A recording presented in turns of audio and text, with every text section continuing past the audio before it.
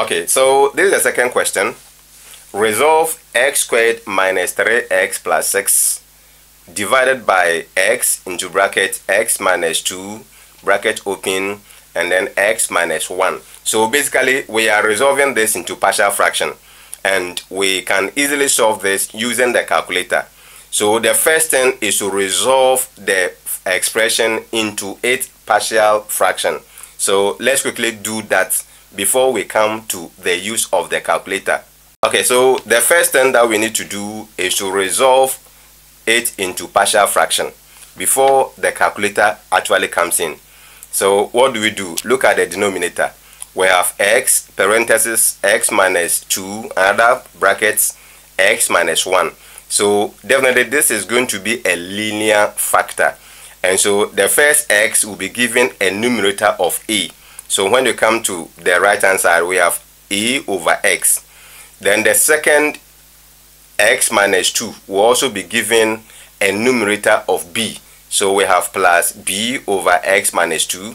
And then the third one, x minus 1, will also have a numerator of c. So we have plus c over x minus 2. So this is the partial fraction that you need to do. This one, you do this manually. It is after you have done this, then the subsequent ones, the calculator will make it easier for you. So how do we use the calculator? Now we do it by using the cover up method. If we are going to look for the value of A, you will now have to cover the denominator of A on the left hand side. So you cover the X and then you enter this expression on the calculator. When you are done, to determine the B, you cover the denominator for the B on the left hand side and then we go in that order. So let's now bring the calculator. So I have my calculator here. Let me first clear what I have on it. Now, if you look at the third step, the one down here, I have covered the x, this x. Why has the x been covered? Simply put, I am going to look for the value of this a. That is why the x is covered. And so when I cover the x, I am now going to enter the remaining expression on the calculator. And so this is a fraction so I pull my calculator. You first click on the fraction button and then you enter. So x squared. So alpha x and then I square it. Then minus 3x. So 3 alpha x and then plus 6. So plus 6. Then I am done with the top one. Remember all that I am entering is the one on the left hand side of the identity sign. So let me now move the cursor down. Obviously, this is covered. So I am going to enter what you see. So I have brackets, so parentheses. I have x minus 2. So alpha x minus 2. Then I close the brackets. Another bracket opens here. So I open another bracket. Then I have x minus 1. So alpha x minus 1 then remember to close the bracket so I close it up then the next thing to do is ask yourself what value of this x will make this particular one undefined so simply put if I put 0 here meaning a over 0 is going to be undefined so you now press the calc button and it is asking you what value of x will make the a undefined and that is 0 so you place 0 here, then you hit the equal sign button. That means when you solve, you are going to get um, A is equal to 3. Now I want to save this on the calculator. So you press to save, press shifts, you press recall, and then you assign it to A. So I have saved that one to B. Now we want to move on to solve for the B and then the C. So now that we are done looking um, for the A, it is now time for us to look for the value of B. And to do that, you cover the denominator of B on the left hand side. So that is how come this is covered. And so after we have covered that one, let's now enter the remaining expression on the calculator. So thankfully, you can always edit for examination. So I have it there. So if you look at the top one, x squared minus 3x plus 6 is already there at the top. I only have to edit the down one. So for x minus 1, I have it here already. And so what I need is this x. So let me now move down, the cursor down, and then do the editing. So I go downwards and then I edit my figures.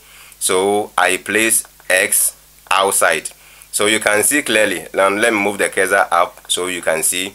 Okay. So basically what you see is that I now have the uncovered one on the calculator. Then remember we have covered the, the b denominator meaning we are going to look for b. So you press on the calc button. Then it will ask you what value of x will make the b undefined. To get that one, move on to the right hand side. And so what value of x can make this one undefined? Definitely if I put 2 here, 2 minus 2, I will get 0. So this part will be undefined. So the value of x required is going to be positive 2. And so you simply enter 2 and then you hit the equal sign button. That means the b value is going to be 2. So I want to save that one to, to B. And so to save, you press Shift, you press the store, and then you assign that one to B. And so I have my A and then the B. So the last part that I need to find is the C. And to do that, meaning you have to remove the cover from B and then you cover it on C. So when you move down, you can see that the C part has been covered. So this is it. And so now I, the A denominator is open the B is also open but the C part is covered. So I have to enter this on the calculator. Once again it is already there. So just move the cursor up to go and edit it. So it is there the top one x squared minus 3x plus 6 is there so all I need to have is the down one here so let me now move down to edit it so I move the cursor down, let me go down and then do the editing. So I need the x, so x is there, but I need x minus 2. So in place of the 1, I delete the 1 and then I put 2 there. Then when I move up, you see that everything that you see, everything that you see at the left hand side, I have the same thing here.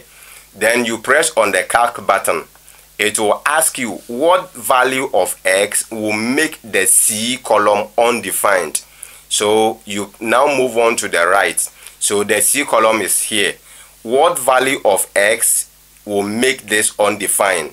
Definitely if I put 1 here, so 1 minus 1 will be 0 and that will be undefined. Meaning the value that we need to put in the calculator is going to be the positive 1. And so I place in positive 1, then you hit the equal sign button. Then it is telling you that the C value is going to be 4. So I will save this to C. You press shift, you press the store, and then you assign it to C.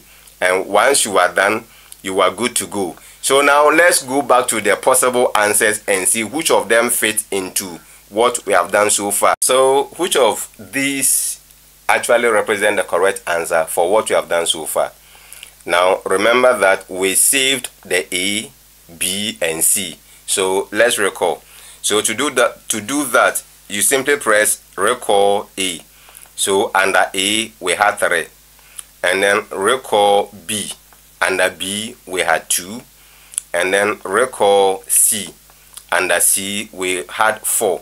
So you can see that this is what we are actually getting that using the calculator, the A is equal to 3, the B is 2, and then the C is minus 4.